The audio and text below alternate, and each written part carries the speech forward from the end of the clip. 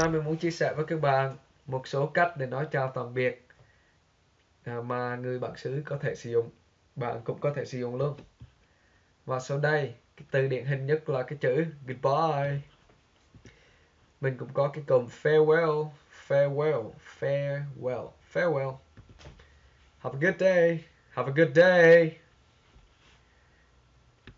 Rồi take care. Uh, chúc các bạn một ngày vui vẻ. Giữ gìn sức khỏe nhé. Take care. Bye. Hoặc là bye bye. Bye for now.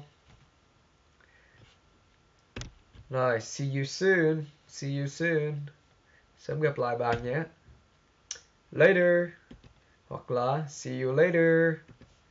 Talk to you later. Catch you later. Catch you later alright catch you later. Đó là một cách nói. Ciao ciao cái gốc từ là từ ý. Đọc như là chữ chào. Tiếng việt mình vậy đó. See you tonight see you tonight. Tối nay gặp lại bạn nhé. It was great to catch up. À, rất rất là vui khi mà được tán gẫu với bạn. Gặp lại nói chuyện với bạn á. Catch up gặp gỡ đó It's been a lovely to see you. It's been a lovely to see you. Rất là hài lòng khi được gặp bạn lại. See you tomorrow. Hẹn uh, ngày mai gặp lại bạn nhé. See ya. Later skater.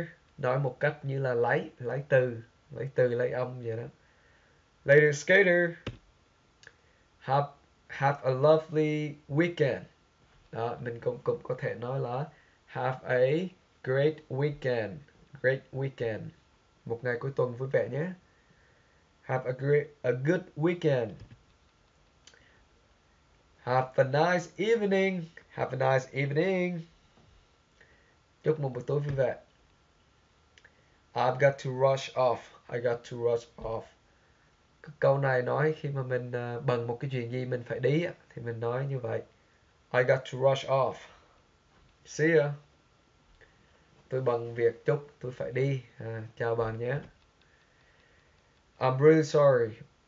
I've got to dash. I'm really sorry. I've got to dash.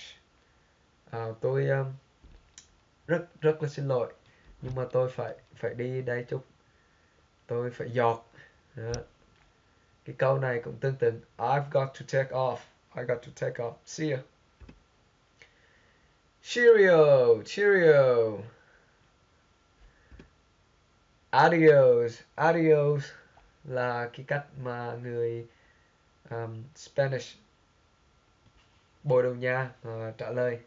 Tại vì ở Mỹ đây cái dân số người uh, người uh, mẹ tay cơ cũng rất là nhiều nên cái chữ này cũng được áp dụng vào trong ngôn ngữ. Adios.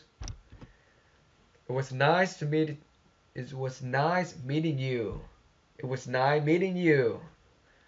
Rất là vui được gặp lại bạn gặp bạn. Đó là bài kết thúc. Bye for now. See you all next time. And thank you for watching.